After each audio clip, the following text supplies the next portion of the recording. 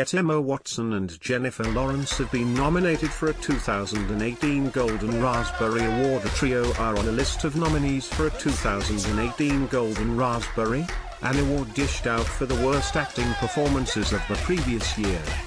In the actress category for 2017, nominations include former Harry Potter star Watson for The Circle, Lawrence for Mother, and Dakota Johnson's much maligned stint in Fifty Shades Darker.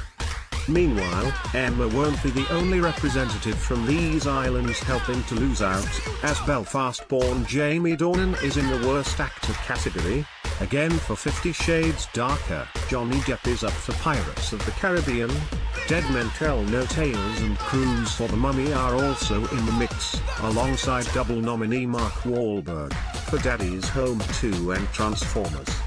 The last night, Getty Sandra Bullock collected her Raspberry Award in 2009. A day before winning her Oscar we all have to support journalists and call out attempts to control their work and to delegitimize the organizations that give them work Meryl Streep the annual ceremony, which takes place on March 3rd, just a day before the Oscars, is often snubbed by the A-listers.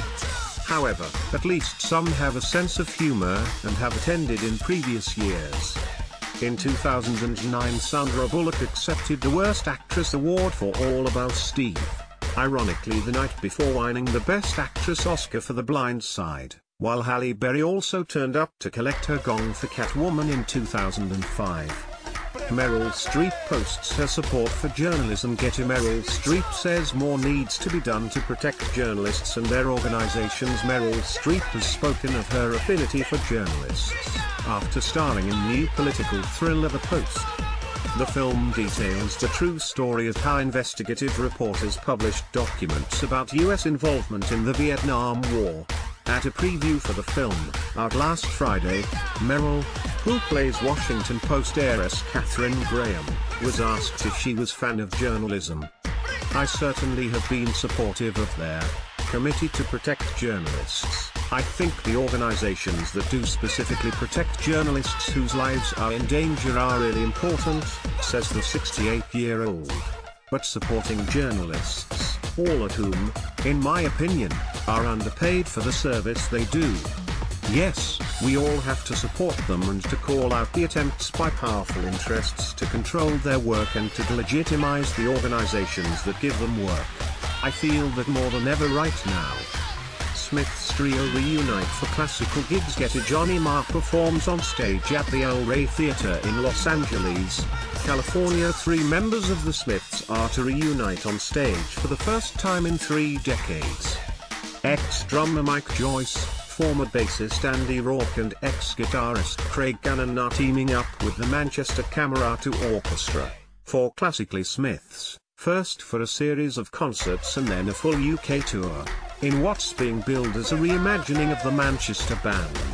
Famed for the songwriting partnership, as well as the often far from harmonious relationship between Morrissey and Johnny Marr, the group which formed in 1982 are often referred to as one of the most important independent British bands to emerge from that era, they are still cited by a host of current musicians, including the likes of Noel Gallagher and Radiohead, as being hugely influential in their careers. Yet as Elton John admitted that he became selfish and self-centered at the height of his addiction Sir Elton John's struggle to deal with the trappings of fame is what he believes to be the biggest factor in his substance abuse. The 70-year-old has previously admitted to losing a big part of his life to drink and drugs, before eventually knocking alcohol and cocaine on the head in 1990, and he now says, fame, which at first sight looks like a blessing, soon revealed itself as also a curse. My essential humanity began to dissolve into an excess of drugs and alcohol. I am afraid I reacted very badly. I became a loathsome person, selfish, self-centered and disconnected. That amounts to a painful second lesson, one I learned by doing it all wrong. Jo Hale slash Getty Geri Horner, formerly Halliwell, won't be doing Strictly anytime soon Emma Bunton might have given it a whirl in 2006 but it's clear that Geri Horner really really really doesn't want a stint on.